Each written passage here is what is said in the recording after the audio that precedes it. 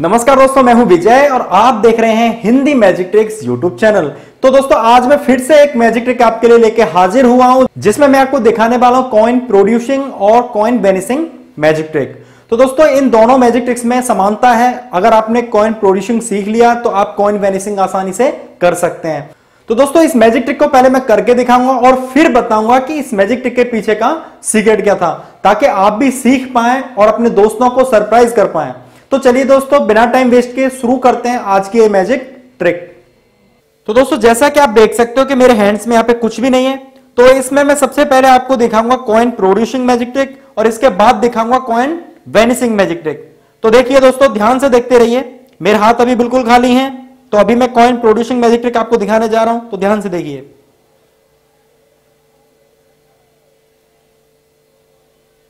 ये देखिए, बिल्कुल खाली है, अभी हाथ, अभी कुछ नहीं आया। तो अभी दोबारा से ट्राई करते हैं, ठीक है? बिल्कुल खाली है, देखो आप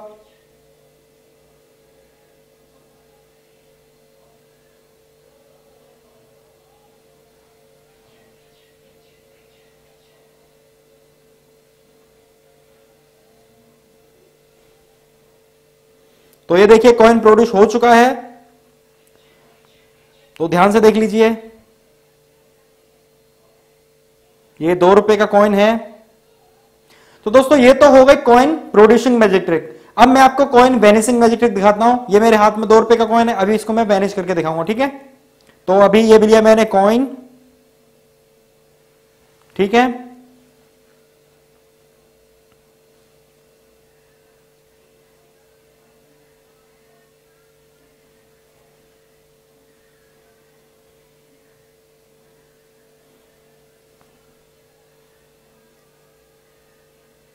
तो दोस्तों, बिल्कुल गायब हो चुका है कॉइन ठीक है?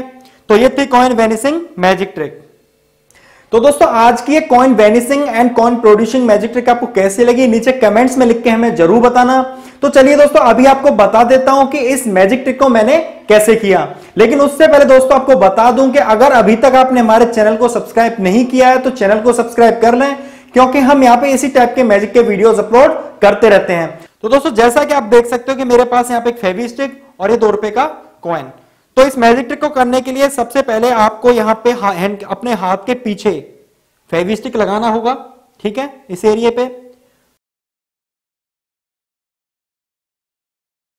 तो दोस्तों, आप पहले से ये कॉइन चिपका के रखे अपने हाथ में, अपने हाथ के पीछे इस टाइप से, ठीक है? आप देख पा रहे हो। तो सामने से बिल्कुल भी पता नहीं चलता है, आप बातचीत कर सकते हैं, अपने हैंड्स दिखा सकते हैं कॉइन गिरेगा नहीं क्योंकि चिपका हुआ है। तो आप आराम से ऐसे अपने हाथों को दिखा सकते हैं, ठीक है? तो आपको फिर करना क्या है?